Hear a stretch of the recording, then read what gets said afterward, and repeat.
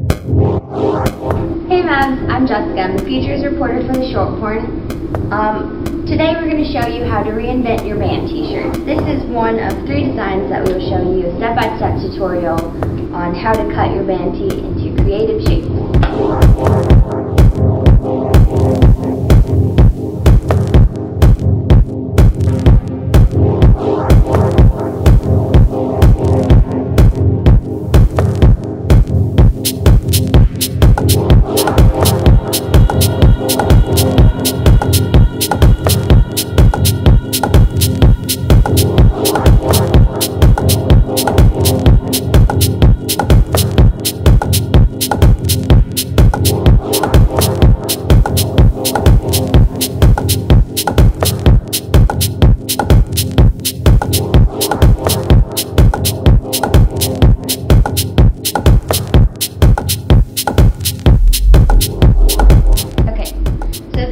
Tank looks like after it's cut. Um, if you want the neckline to be lower, you can cut, you know, the lower loop when you do the neckline. Um, this is what the back looks like.